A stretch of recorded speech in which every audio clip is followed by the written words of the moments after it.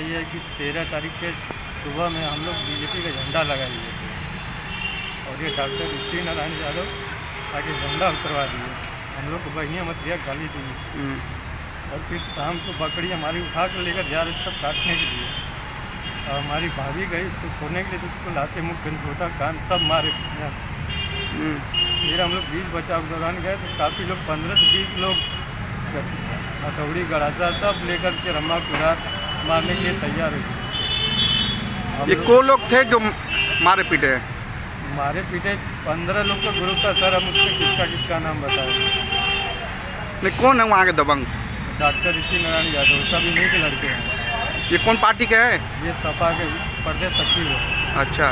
ये जान से मारने का धमकी दे रहे हैं कह रहे हैं कि तुम लोग यहाँ पे रहने लायक नहीं ये कई बार इसकी मारपीट कर चुके हैं हमारे साथ। बहन बेटियों को रेप करने का धमकी देते हैं।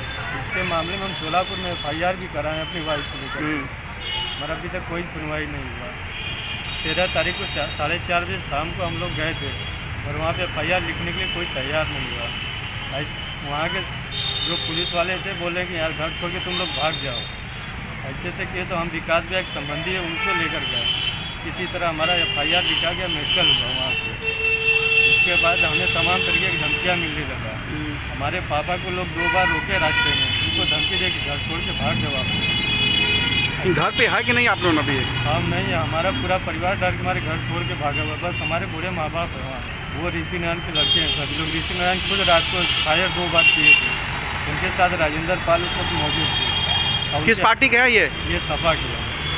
देखिए, ये चोलापुर के अमरपट्टी गाँव में मुस्लिम और यादवों के बीच मारपीट की एक घटना हुई है। दोनों तरफ़ से चोट आई है।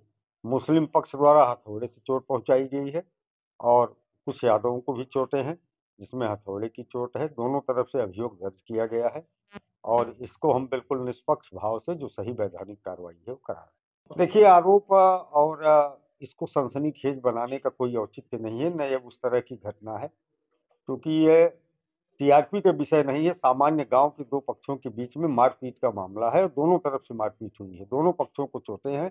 पुलिस बिल्कुल निष्पक्षतापूर्वक वैधानिक कार्रवाई कर रही है।